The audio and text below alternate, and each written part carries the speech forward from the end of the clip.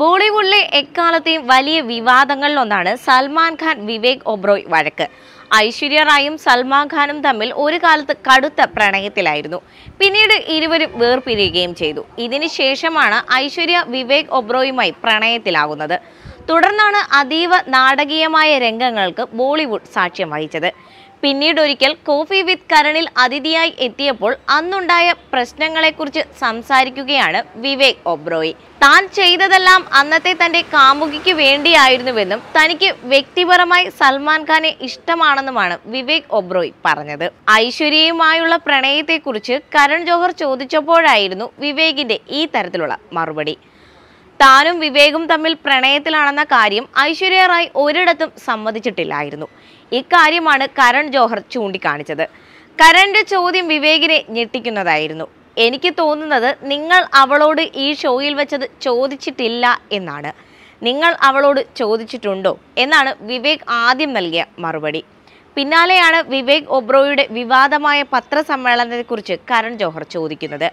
ഐശ്വര്യയെ പ്രണയിച്ചതിന് സൽമാൻ ഖാൻ തന്നെ ഭീഷണിപ്പെടുത്തുകയാണെന്നും കരിയർ ഇല്ലാതാക്കുമെന്നും പറഞ്ഞതായിട്ടായിരുന്നു വിവേക് ഒബ്രോയുടെ ആരോപണം. ബോളിവുഡിനെ ഞെട്ടിച്ച സംഭവമായിരുന്നു അത്. ഇതിനുശേഷം വിവേക് ഒബ്രോയി ബോളിവുഡിൽ നിന്നും അപ്രത്യക്ഷനാവുകയും ചെയ്തു. എന്നാൽ തനിക്ക് സൽമാൻ ഖാനോട് യാതൊരു വിരോധവും ഇല്ലെന്നാണ് വിവേക് ഒബ്രോയി പറയുന്നത്. എനിക്ക് സൽമാൻ ഖാനോട് യാതൊരു വിരോധവുമില്ല. സത്യത്തിൽ എനിക്ക് അയാളെ ഇഷ്ടവുമാണ്. ഒരിക്കൽ കണ്ടപ്പോൾ ഇൻട്രസ്റ്റിംഗ് ആയിട്ടുള്ള വ്യക്തിയാണെന്നാണ് തോന്നിയത്. പക്ഷേ അന്നത്തെ കാലത്ത് അയാൾ പെരുമാറിയ രീതിയും എന്റെ വ്യക്തി ജീവിതത്തിൽ എന്റെ ജീവിതത്തിലുണ്ടായിരുന്ന പെണ്ണിനും വേണ്ടിയായിരുന്നു. ഞാൻ എനിക്ക് ശരിയെന്ന് തോന്നിയത് അന്ന് ചെയ്തു എന്നുമാണ് വിവേക് ഒബ്രോയ് പറഞ്ഞത്. സൽമാൻ ഖാനും ഐശ്വര്യയും തമ്മിലുള്ള പ്രണയ തകർച്ച ഇന്നും ചർച്ചയാകുന്ന വിഷയങ്ങളിലൊന്ന് തന്നെയാണ്. പിന്നാലെയാണ് ഐശ്വര്യ വിവേകുമായി അടപ്പത്തിലാകുന്നത്.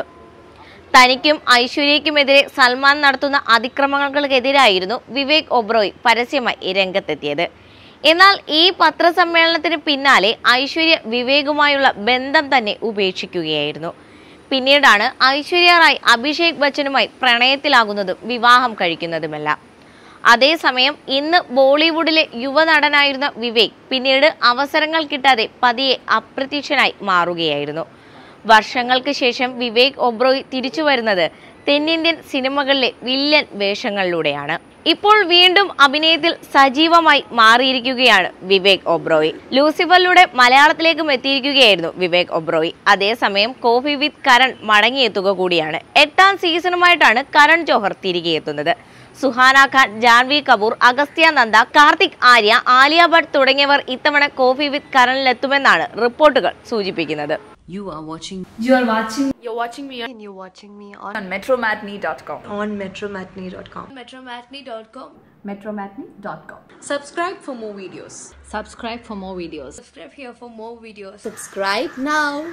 Thank you.